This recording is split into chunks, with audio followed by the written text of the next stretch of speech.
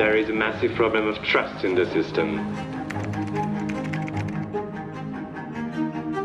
Such comments from IOM staff are alarming.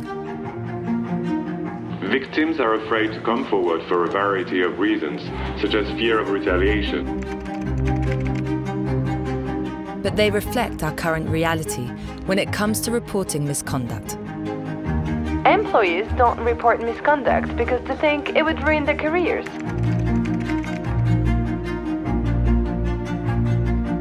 We need to move forward.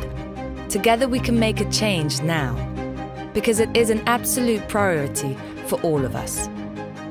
To enhance our system, we listen to you carefully. The whole process is too slow and not clear enough. Speaking up should be done in a safe space.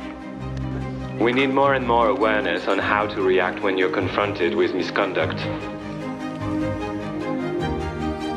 From all your suggestions was born a whole new comprehensive solution called We Are All In. Based on a unified digital platform that is easy to use and accessible to all of you, wherever you are. You can both get information and report misconduct in one place. We Are All In is a collective movement that reinforces our common values and the positive culture of reporting. Truly, because it is our responsibility, our duty, to all of us and our beneficiaries. Because we are all in.